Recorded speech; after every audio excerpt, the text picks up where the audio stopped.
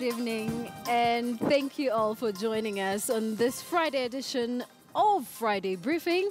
My name is Joy Doreen Biira, and I am sitting in for Betty Kyallo, who has taken a bit of a, a breather uh, so she can rejuvenate. And well, guess who we have in the studio with us this evening? His handsomeness, Nico Diambo. That's also in my birth certificate, by the way. Is it? No, I've just made that up.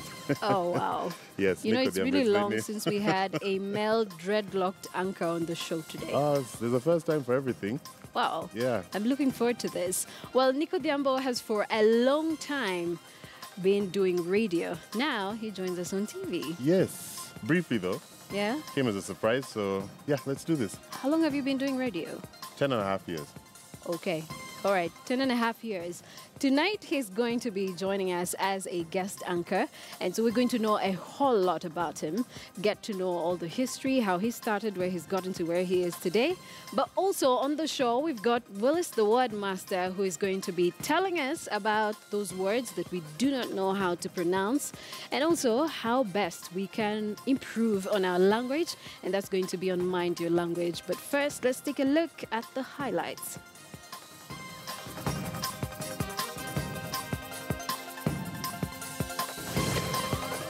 Police launch investigations into the killings of Baringo MCA Thomas Minito and the three children of the Kapsoya MCA. that I have quit Jubilee Party to be an independent candidate. Peter Kenneth now goes it alone. And Mwangiwa area's nomination is cancelled and fresh primaries ordered in the Jubilee Murang'a governor's race.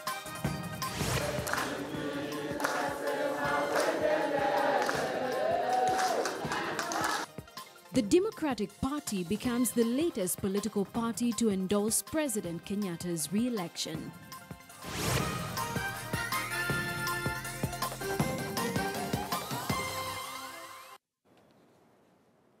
Good evening and welcome. The police are investigating the killing of three children of Kapsioya ward aspirant James Retemo, and Elvis Kusgay now reports that the police have already arrested one suspect.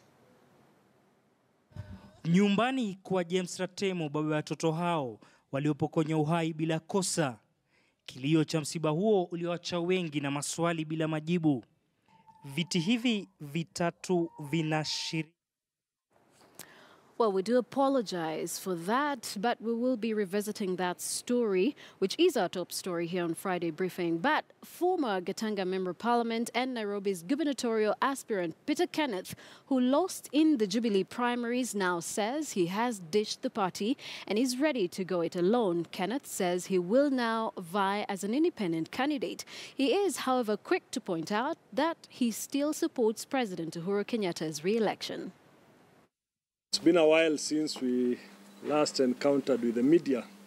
It's a silence that was followed by a big announcement. And just three weeks after the Jubilee nominations, Peter Kenneth, commonly referred to as PK, is now back, back into the hotly contested Nairobi's gubernatorial race.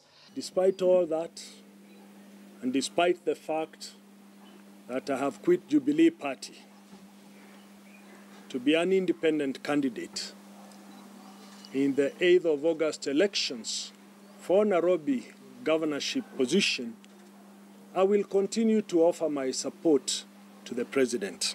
It's an announcement that has now signaled a fresh start for Kenneth's gubernatorial ambition, flanked by his supporters, probably among the 60,000 or so who voted for him during the party primaries that he termed as shambolic. circular voting, non voters voting, stuffing of the ballot, and we believe that the election was actually stolen. The former Gatanga Member of Parliament and a former presidential candidate is already sounding a warning to his main competitors, Dr. Evans Kidero, as well as his immediate rival for the Jubilee ticket, turned his political nemesis, Mike Mbuvi Sonko. We must continue to reject the lies that are being peddled.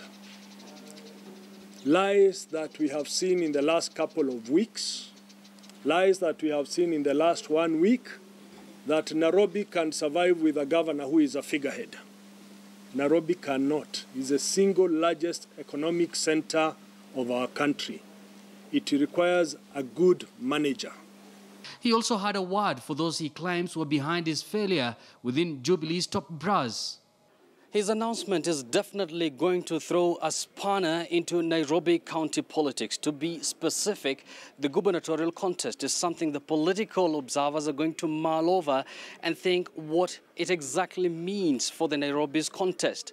But for now, Peter Kenneth himself has announced that he's going to make clear who his running mate will be anytime from Monday next week. Yusuf Ibrahim, Friday Briefing, Nairobi. Thanks, Yusuf. And that story leads us to a big question where we're asking Do you support Peter Kenneth's re entry into the Nairobi governor's race? Do you support Peter Kenneth's re entry into the Nairobi governor's race? Do let us know what you think. You can reach us online, that is on Twitter, using the hashtag Friday Briefing, or you can use the SMS number 22155 and let us know what you think about Peter Kenneth's re entry into the Nairobi governor's race.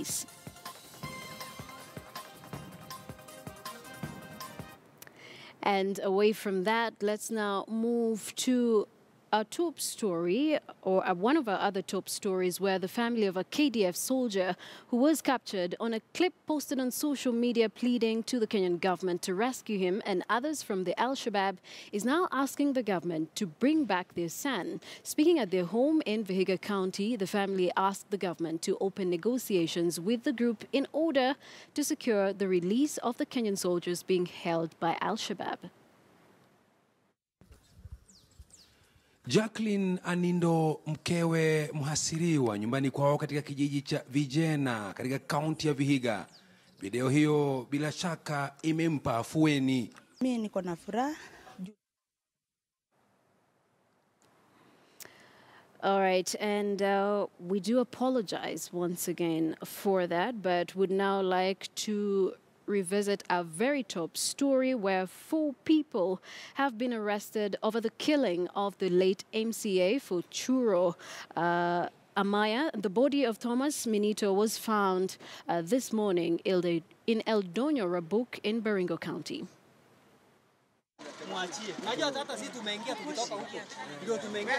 Our arrival at the late Minito's home was faced by hostility as an irate crowd pelted stones at our vehicle.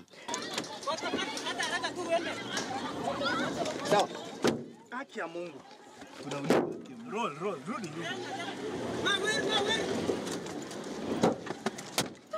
Kama utoa gari, toa gari, toa gari. Moments later, a neighbor's home was up in flames. While residents of Tiati constituency were slowly forgetting the murder of two politicians, Pepe Kitamba and Loya Marok Ward, member of County Assembly Charity Kibet in Mariga two months ago. Yet another sad day has hit residents of Tiati. Before he met his death, Thomas Minito was last seen at a restaurant with a female companion in Cabernet before four men picked him up saying they were taking him for questioning at the Cabernet police headquarters. Initial investigations indicate that Minito's phone was last traced to Koriema Shopping Center, only for his lifeless body to be found in Noldonyo Sabuk, Kiambu County. Na mimi pamoja na watu yote tuko tabu, wakubwa amemalizwa yote, amemalizwa yote. Pepe ameshakufa, Kipe ameshakufa. tukiwa, tukiwa kama wamama tuko na uchungu sana. Tumezaa watoto ambaye kila wakati wanauawa, tujua tuna, tu, tu, tuko tukizaa watoto ambaye watakuwa wakiuliwa na wengine tujui wameuliwa na njia gani. Sisi kama professionals vile viongozi wetu wanawawa, tunasema hata sisi hatuna usalama Amen. hata, wa, hata wanabiashara tunasema hawana usalama. To some quarters, the death of Thomas Minito may just seem as a normal death. However, to the people of Churo Amaya, there is more to what meets the eye. They feel that their vocal and dependable leaders are now being targeted, begging the question, by who? Joseph Makilap is the member for County Assembly for Barres Award in Baringo. And a colleague to the late Minito, who was the deputy minority leader and the vice chair of the budget committee. To those who mingled with Minito, popularly known as Long Seal, which in Pokot means a person with short hands, he was a brave leader who never looked back. There was a time Minito, he was the first person to introduce a motion to impeach the, uh, Governor Cheboy.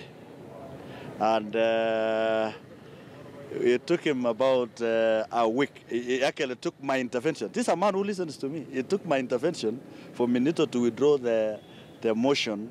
Minito in March this year was charged with incitement and was released on a 1.5 million bond, with security organs on his radar over attacks in ranches in Laikipia. The recent one being the Laikipia Nature Conservancy, where the ranch owner Cookie Galman was shot and injured. Minito had been vocal over the building of an access road from Churo through Laikipia Nature Conservancy, an issue that made him ruffle shoulders with the powerful forces in government. Victor Gale, KTN News, Baringo County. All right, thanks a lot, Victor. And would like to review our Twitter poll question where we were asking Do you support Peter Kenneth's re entry into Nairobi governor's race? Uh, do you support Peter Kenneth's re entry into the Nairobi governor's race? Do let us know what you think. In fact, I just have a few tweets here that I could go through. Sylvester Aura, you're saying PK is belittling and deriding himself. He shouldn't, or he should have vied for presidency.